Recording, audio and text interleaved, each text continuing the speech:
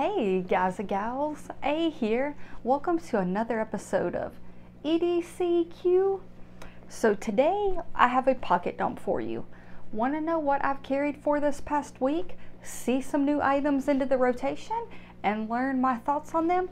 Come on back because here we go.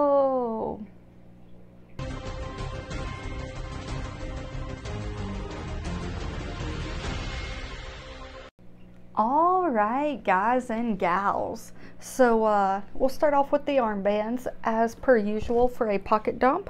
Still rocking the camo uh, Casio G-Shock and the Fitbit Sense 2. Um, I've spoken before on my fitness trackers. I like having them, but still like having an analog watch with me. And uh, I am actually uh, getting close to wanting to transition to an Apple Watch. We'll see how long I can hold out before I do, but I kind of bounce back and forth between Apple Watch and Fitbit, and uh, had this one for um, coming up on the year mark, I believe, and that's kind of when I get the itch to switch watches. So we'll see how long the Fitbit Sense, Sense 2 hangs around before I switch it up. And then normally I jump right into the pockets and show you what I've carried there. But this time we will go to belt pouches because I've actually, actually rotated back in a belt pouch. And I don't know that I've ever actually carried this one as a belt pouch, um, but here we are. So this is a Maxpedition, Maxpedition pouch, if I can speak. And I put one of these MOLLE belt clips on it uh, and so it, it just attaches right there, slides into the MOLLE, and then you um, you screw it in, you uh, screw it together, and then you've got a belt loop right there, which I know is hard to see because my shirt's black. But you have a nice little belt loop that you can slide on over your belt or clip to your, your waistband.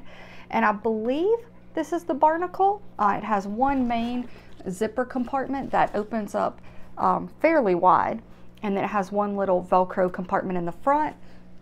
I just carry like the normal stuff I do in a belt pouch. Uh, up front here I have two wet ones so quick access to a wet wipe. Those always come in handy. And then so this unzips like that and it opens accordion style. So easily open easily accessible. Uh, one side I have a little Purell hand sanitizer. I have the credit card size notebook from Rite in the Rain. And then I have this little zippered pouch right here. That's a, a boo-boo kit. It's got some um, Benadryl, some Band-Aids, an alcohol wipe, a Goody's powder in case there's a headache. And then the other side, uh, sitting down in the bottom, I have a cinnamon flavored Listerine breath strip and I put the cinnamon in there because I don't often carry it in my pocket. So give me a different um, flavor. And if I run out I have them. And then in this back sleeve I have an Olight i3T I have an F301 compact by Zebra. And then I have a WE knife in there. So one side of the one side over here is just like a dump pouch. And then this side actually has a little sleeve here and a little sleeve there. So one side is empty, one side has two sleeves, and I just put all my gear in there. As you can tell, I have tons and tons of of room to add more stuff. And uh, I just, you know, zip that up, pop it right here on my waist, and then I have all those contents with me.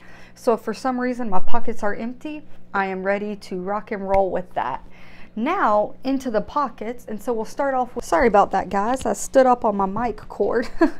Um, but uh, inside of, of my pocket here i do have that fixed blade rocking right here and that is still the vero engineering um, the axon and that is inside of a joe fu leather sheath and that works excellent for front pocket carry.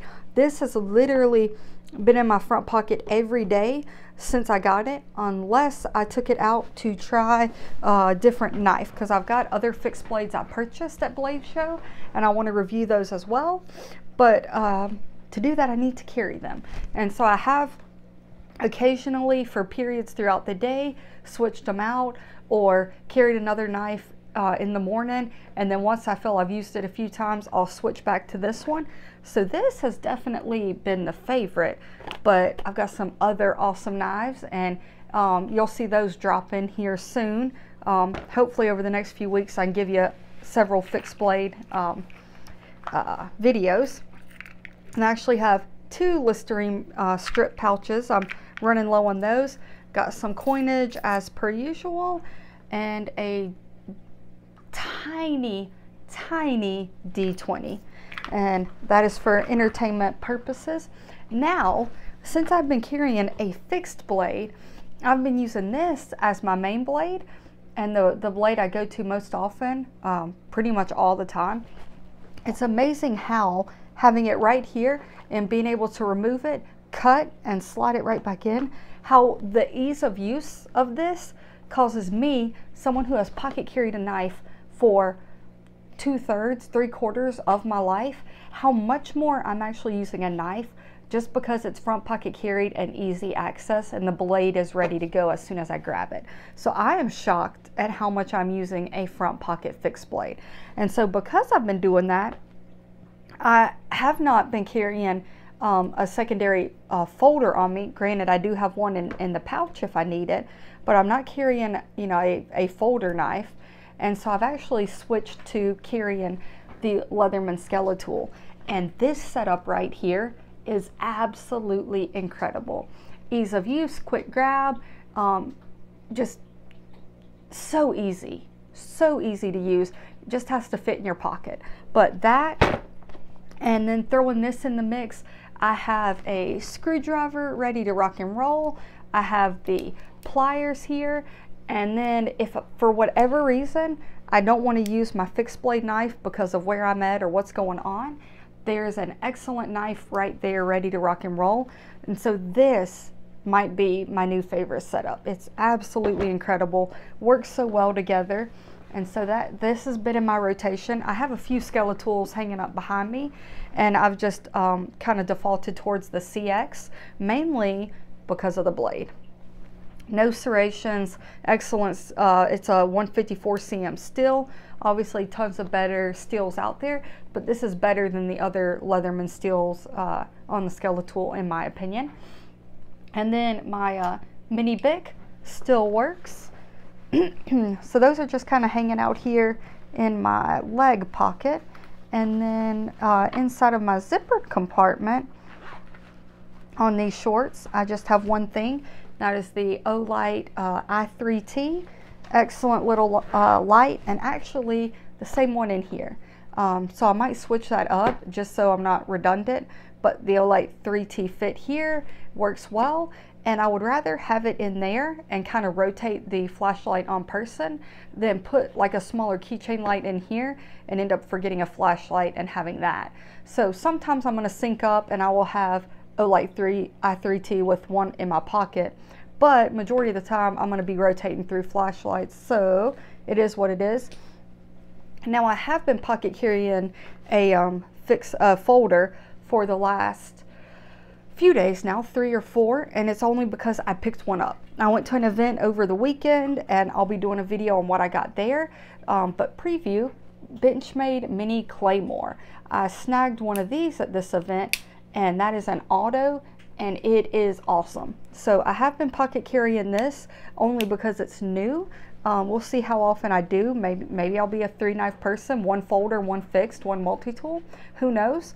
But uh, really like that knife, really like the fixed blade, really like the Leatherman Skeletool. They all kind of work together perfectly for me. Uh, in my right pocket, my right back pocket, I have some uh, cash I have a hank, and this is not one of the fancy, cool looking hanks. This is an actual cotton hank because the little one, my three-year-old, uh, has a cold. So that has been getting way more use than I thought it would. Got some business cards in my front pocket, my hand pocket on the left side. And then the zipper compartment on my left side has my new earbuds, which are the AirPods Pro 2nd Gen. So I, I, am in the Apple ecosystem. Everything works well together. And uh, I don't know why I wasn't getting the pros. Like I, I had an old set of pros and I lost an earbud and I guess it was just, you know, such a hit to the wallet that I wanted to go another route. And um, I picked these up because of the noise cancellation properties as well as the ability to listen. Um, you know, you can have one or the other. You can you can have the um, ambient noise coming through, or you can like shut it off and have noise cancellation. And I'm really sad I didn't get those sooner. They are, if you're in the Apple ecosystem, AirPods Pro, AirPod Pros are pricey, but in my opinion, they're worth it. You get you get what you pay for, and they're slim. That case is so small, so slim, and I use the um, the MagSafe chargers for my iPhone that I film on, and this thing pops right onto those. So I can, you know, just toss my, um, well not toss, set my AirPods onto that and charge them, you know, that easy. So it works great in my system that I have to charge my phone. I can charge these the same way. And yeah, I'm sad I didn't go to it sooner. They're slim. They're way more pocket friendly than the Pixel Buds, which were one of the most pocket friendly ones I had found these are better. So they check all the boxes for me and I've had them about two weeks now. So a little bit of time to play with them. I'll definitely talk about them more as we go on. But that is my carry guys. So I hope you enjoyed the video. What have you carried this past week? Let me know. And uh, I will never ask you to like or subscribe. You do you. But comment below. Talk to me. Tell me what you think on this. What you've been carrying. Um, have you joined the front pocket fixed blade game? And if not, why. Um, but yeah, thanks for watching. Thanks for hanging out. And I will have some new content soon. Stay tuned. And remember, EDC, EDC.